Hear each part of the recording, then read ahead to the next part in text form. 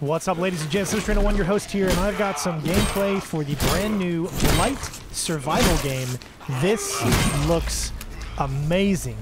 I just wanted to go over a few points of what I pretty much got from this trailer. This trailer came out about a week or so ago, and this is the first time I've actually ever heard of it. It's kind of like a medieval uh, third-person game, and it just looks amazing. The Unreal Engine 5 is just absolutely amazing. I love the look, I love the feel, how gritty it is, and this is definitely something that I want to make sure that I put on your radar, which is why we're putting this video out there.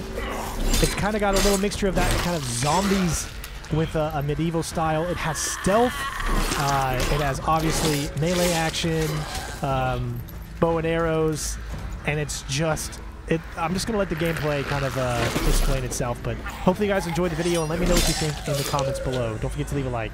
We'll see you next time.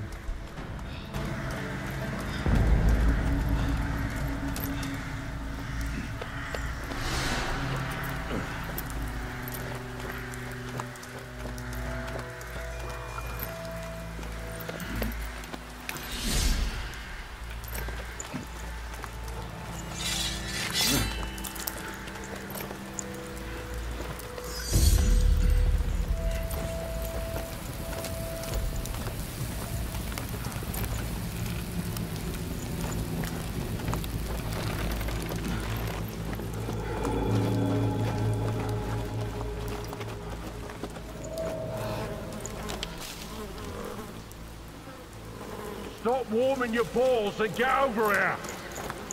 Hey, are you listening to me? Sure, I, I am. You're hearing me. You ain't listening. Leave off, Granger.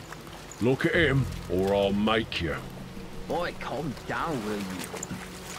All right, I'm looking.